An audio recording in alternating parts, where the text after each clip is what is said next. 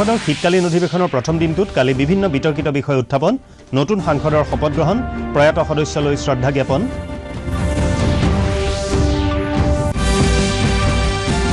সুস্থ বিতৰ্ক আৰু মুকলি আলোচনাৰ জৰিয়তে দেশৰ সন্মুখলৈ অহা বিষয়ৰ সমাধানত সকলো সদস্যক সহযোগিতা কৰিবলৈ ৰাজ্যসভাত প্ৰধানমন্ত্ৰী নৰেন্দ্ৰ মোদীৰ আহ্বান। আৰু এ আই বি এ এথলিটছ আয়োগৰ সদস্য হিচাপে নিৰ্বাচিত মণিপুৰৰ বক্সাৰ লাইশ্ৰম চৰিতা দেৱী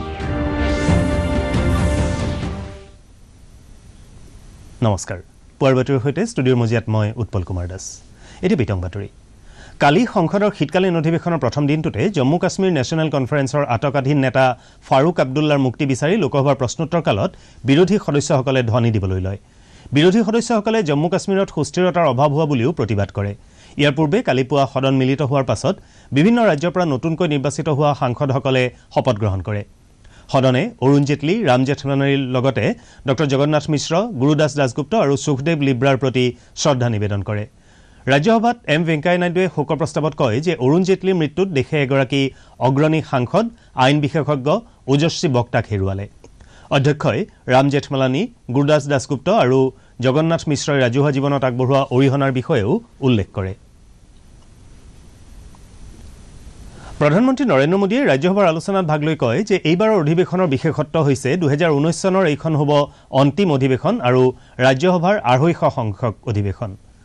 প্ৰধানমন্ত্ৰীয়ে লগতে কয় যে সকলো সাংসদৰ সমৰ্থন আৰু সক্ৰিয় অংশগ্ৰহণৰ কাৰণে সংসদৰ বিগত অধিৱেশনে বিশেষ সফলতা লাভ কৰিছিল। তেওঁ কয় যে এইখন সদনতে তিনি তালাক বিধেয়ক তিনিশ সত্তৰ বাতিলকৰণ জি এছ টিৰ যোগেদি এক দেশ এক কৰৰ দিশত আগবঢ়া ইত্যাদি অতি গুৰুত্বপূৰ্ণ পদক্ষেপ চৰকাৰে গ্ৰহণ কৰিবলৈ সমৰ্থ হৈছে। তেওঁ কয় যে পৰিৱৰ্তিত পৰিস্থিতি আৰু পৰিৱেশত নিজকে খাপ খুৱাই দেশক আগুৱাই নিয়াত সহায়ক হোৱাৰ বাবে প্ৰতিগৰাকী সাংসদেই ধন্যবাদৰ পাত্ৰ এনেদৰে জনস্বাৰ্থ জড়িত বিষয়সমূহৰ ওপৰত সুস্থ বিতৰ্ক আৰু মুকলি আলোচনাৰ জৰিয়তে দেশৰ সন্মুখলৈ অহা সকলো বিষয়ৰ আশু সমাধানত উপনীত হোৱাৰ কামত সকলোৱে সহায়ক হ'ব বুলি প্ৰধানমন্ত্ৰীয়ে আশা প্ৰকাশ কৰে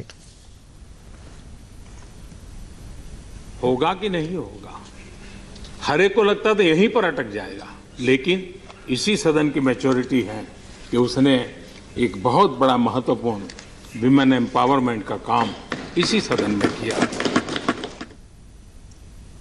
দুদিনীয়া ভ্ৰমণসূচীলৈ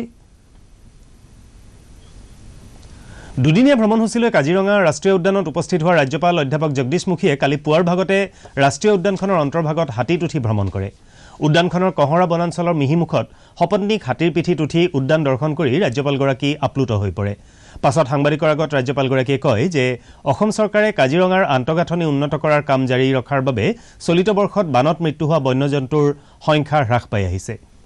গড় হত্যা প্ৰতিৰোধ পৰ্যটন আৰু ৰাষ্ট্ৰীয় উদ্যানখনৰ দাঁতিত থকা ব্ৰহ্মপুত্ৰৰ খহনীয়া সম্পৰ্কেও ৰাজ্যপালগৰাকীয়ে মত ব্যক্ত কৰে। সংসদৰ শীতকালীন অধিৱেশন আৰম্ভ হোৱাৰ সমান্তৰালভাৱে দুহেজাৰ ষোল্লৰ নাগৰিকত্ব সংশোধনী বিধেয়কৰ বিৰুদ্ধে ৰাজ্যৰ বিভিন্ন দল সংগঠন পুনৰ সৰব হৈ পৰিছে। তিনিচুকীয়াতো বিধেয়ক বাতিলৰ লগতে চলিত সংসদৰ অধিৱেশনতে মটক জনগোষ্ঠীৰ জনজাতিকৰণৰ দাবীত মটক যুৱযাত্ৰ সন্মিলনে তীব্ৰ প্ৰতিবাদ সাব্যস্ত কৰে। তিনিচুকীয়া থানা চাৰিআলিত সংগঠনটোৰ শতাধিক কৰ্মীয়ে প্ৰতিবাদ সাব্যস্ত কৰে। ডাম্পাৰ চালকক ভাবুকিৰে ধন দাবী কৰা এনফৰ্চমেণ্ট বিষয়াক আটক কৰা আৰু নিলম্বিত কৰাৰ দাবীত কালি উত্তৰ লখিমপুৰ নগৰৰ জিলা পৰিবহণ বিষয়াৰ কাৰ্যালয়ত অসমীয়া যুৱ মঞ্চ আৰু অসম জাতীয়তাবাদী যুৱ পৰিষদে প্ৰতিবাদ সাব্যস্ত কৰে। যোৱা ষোল্ল নৱেম্বৰৰ দিনা বৈধভাৱে শিলভৰ্তি ডাম্পাৰ ৰাজপথৰ পৰা জব্দ কৰি অভাৰলোডিঙৰ দোহাই দি দুজন এনফৰ্চমেণ্ট বিষয়াই বিছ হাজাৰ টকা দাবী কৰিছিল। ইতিমধ্যে জিলা পৰিবহণ বিষয়াই অভিযুক্ত বিষয়া দুজনৰ কুকৰ্মৰ বিষয়ে অভিযোগ দাখিল কৰা বুলি জানিব পৰা হৈছে। জাৰ্মানীৰ ইস্কুৰবা খ্ৰিজা নামৰ অৱসৰপ্ৰাপ্ত অভিযন্তাজনে নিজৰ পত্নীৰ সৈতে ইতিমধ্যে বিশ্বৰ এশ পঞ্চাছখন দেশ ভ্ৰমণ কৰি কালি শিৱসাগৰত উপস্থিত হয়। এখন টয়োটা গাড়ীৰে এই সুদীৰ্ঘ ভ্ৰমণ কাৰ্যসূচী গ্ৰহণ কৰা দম্পতীয়ে কালি ৰংঘৰ কাৰেংঘৰ পহুগড় আদি বিভিন্ন পৰ্যটনস্থলী ভ্ৰমণ কৰে। ইতিপূৰ্বে কাজিৰঙাকে ধৰি অসমৰ বিভিন্ন ঠাই পৰিভ্ৰমণ কৰা ইস্কুৰবা খ্ৰিজাই অসমৰ প্ৰকৃতি আৰু মানুহৰ প্ৰশংসাত পঞ্চমুখ হৈ পৰা দেখা যায়। অসমৰ পৰা তেওঁলোক অৰুণাচল প্ৰদেশৰ টাৱাং আৰু তাৰ পিছত ভূটান অভিমুখে ৰাওনা হ'ব। photos and they always said incredible india this was a slogan they said and after the we, but we never have been in this part of the country. Um, And uh, uh, so this year we planned again a longer trip with our car. পৰৱৰ্তী বাতৰিলৈ আহিছোঁ সমগ্ৰ দেশৰ লগতে অসমতো নিবনুৱাক সংস্থাপন দিবৰ কাৰণে চৰকাৰে নানা ধৰণৰ আঁচনি ৰূপায়ণ কৰিছে। ইয়াৰ অংশ হিচাপে ক্ষুদ্ৰ লঘু আৰু মজলীয়া উদ্যোগ মন্ত্ৰালয় আৰু খাদী আৰু গ্ৰামোদ্যোগ বোৰ্ডে প্ৰধানমন্ত্ৰী ৰোজগাৰ যোজনাৰ অধীনত অধিক সংখ্যক নিবনুৱাক সংস্থাপন দিবৰ বাবে মনস্থ কৰিছে। এই সন্দৰ্ভত এয়া আমাৰ প্ৰতিবেদন।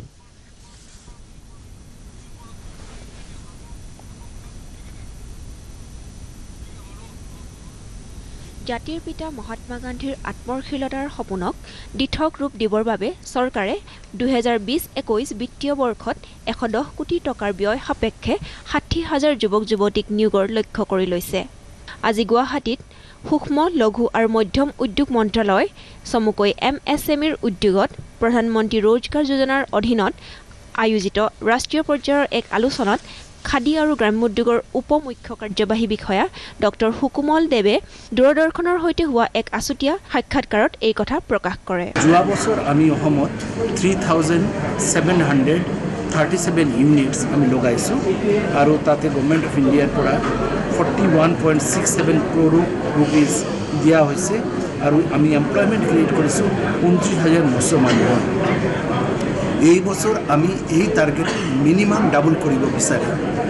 কৰ্মশালাত ৰাজ্যৰ প্ৰত্যেকখন জিলাৰ উদ্যোগ কেন্দ্ৰৰ বিষয়া খাদী বৰ্ডৰ জিলা বিষয়া ৰিজাৰ্ভ বেংক অৱ ইণ্ডিয়াৰ জেনেৰেল মেনেজাৰ নাবাৰ্ডকে ধৰি আগশাৰী বেংক বিষয়াসকলে ভাগ লৈ ইয়াত আঁচনিৰ সফল ৰূপায়ণৰ বাবে সম্ভাৱ্য সকলোবিলাক আলোচনা কৰা হয়। পি এম ই জি পিৰ অন্তৰ্গত কোনো যুৱকে গ্ৰাম্যাঞ্চলত যিকোনো উদ্যোগ গঢ় দিবলৈ হ'লে চৰকাৰ আৰু বেংকৰ সহযোগত পঁচিছ লাখ টকাৰ পঁয়ত্ৰিছ শতাংশ ৰেহাইত আৰ্থিক অনুদান লাভ কৰিব। কোনোবা একটা ইণ্ডাষ্ট্ৰি তেওঁলোকে ছেট আপ কৰিব বিচাৰে ভিলেজ ইণ্ডাষ্ট্ৰি আমি কয় তাতে টুৱেণ্টি ফাইভ লাখ ৰুপিজলৈকে গভৰ্ণমেণ্ট অফ ইণ্ডিয়াৰ আৰু বেংকে মিলি পেলাই ফিনান্স কৰে যদি ৰুৰেল এৰিয়াত ইণ্ডাষ্ট্ৰিটো ছেট আপ হয় তেতিয়াহ'লে আমি thirty five percent subsidy provide কৰে এই দুদিনীয়া কৰ্মশালাত ৰাজ্যত নিয়োগহীনতা হ্ৰাস কৰিবৰ বাবে বিগত বছৰতকৈও অধিক যুৱক যুৱতীৰ কৰ্মসংস্থাপন দি তেওঁলোকক আত্মনিৰ্ভৰশীল কৰি তুলিবৰ বাবে চৰকাৰে যৎপৰণষ্টি চেষ্টা চলাব। কেমেৰা পাৰ্চন ৰুবুল শইকীয়াৰ সৈতে প্ৰমীলা শইকীয়াৰ report D D news Guwahati নাজিৰাস্থিত O N G চিৰ কেন্দ্ৰীয় ঔদ্যোগিক নিৰাপত্তা বাহিনীত কৰ্মৰত বিৰাজ হাজৰিকা নামৰ এজন উদাৰ লোকৰ পৰিকল্পনাত দৰিদ্ৰ শিশুসকলক খাদ্য আৰু কাপোৰ যোগান ধৰাৰ বাবে ৰুটি আৰু কাপোৰৰ বেংক এটা স্থাপন কৰা হৈছে। চি আই এছ এফৰ কনিষ্টবল বিৰাজ হাজৰিকাই নিজৰ দৰমহাৰ দহ শতাংশ ধন দুখীয়া লোকসকলৰ মাজত খাদ্য আৰু কাপোৰ বিলোৱাৰ বাবে ব্যয় কৰি আহিছে। নাজিৰাৰ মহকুমাধিপতি ৰাজীৱ থাপাই এই অভিনৱ বেংকটো উদ্বোধন কৰে।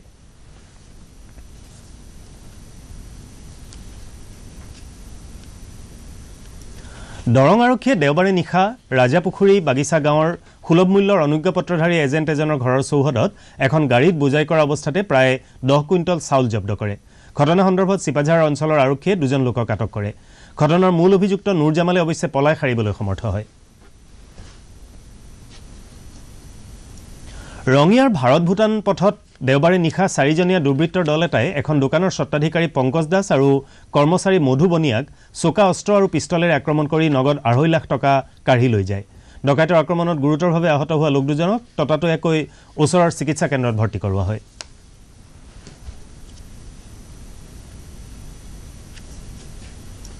ওদালগুৰি জিলাৰ নোনাই খালিংদুৱাৰ বনাঞ্চলৰ পৰা ওলাই অহা বনৰীয়া হাতীয়ে দেওবাৰে নিশা চেগুনবাৰী গাঁৱত সোমাই পকা ধান খাই তহিলং কৰাৰ লগতে হাতী খেদিবলৈ যোৱা যুৱক এজনক আক্ৰমণ কৰাত যুৱকজন নিহত হয়।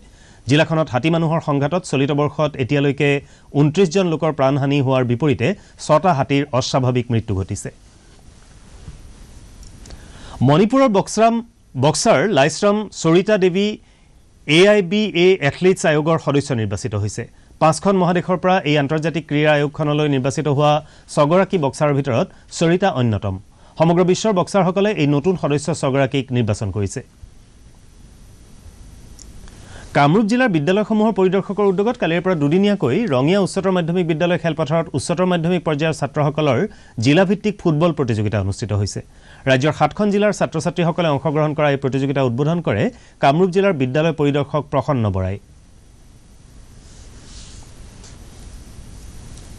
সম্প্ৰতি অসমত যুৱচামৰ মাজত ড্ৰাগছৰ প্ৰতি আসক্তি বৃদ্ধি পাবলৈ ধৰাৰ প্ৰতি লক্ষ্য ৰাখি অসম ৰাজ্যিক আইন সেৱা প্ৰাধিকৰণে বিশেষ কাৰ্যসূচী গ্ৰহণ কৰিছে।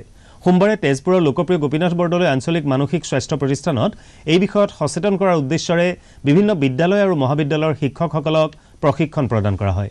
ইফালে মানসিক স্বাস্থ্য প্ৰতিষ্ঠানৰ চেণ্টাৰ ফৰ ৰিহেবিলিটেশ্যন ছায়েন্স কেন্দ্ৰৰ জৰিয়তে নিচাসক্ত লোকক চিকিৎসা আৰু পুনৰ সংস্থাপনৰো ব্যৱস্থা গ্ৰহণ কৰা হৈছে।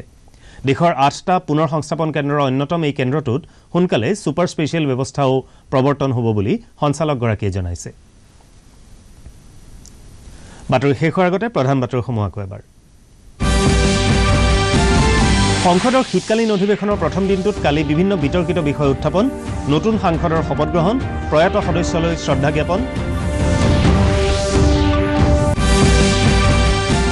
সুস্থ বিতৰ্ক আৰু মুকলি আলোচনাৰ জৰিয়তে দেশৰ সন্মুখলৈ অহা বিষয়ৰ সমাধানত সকলো সদস্যক সহযোগিতা কৰিবলৈ ৰাজ্যসভাত প্ৰধানমন্ত্ৰী নৰেন্দ্ৰ মোদীৰ আহ্বান। আৰু এ আই বি এ এথলিটছ আয়োগৰ সদস্য হিচাপে নিৰ্বাচিত মণিপুৰৰ বক্সাৰ লাইশ্ৰাম চৰিতা দেৱী পুৱাৰ বাতৰি ইমানতে অন্ত পৰিল নমস্কাৰ।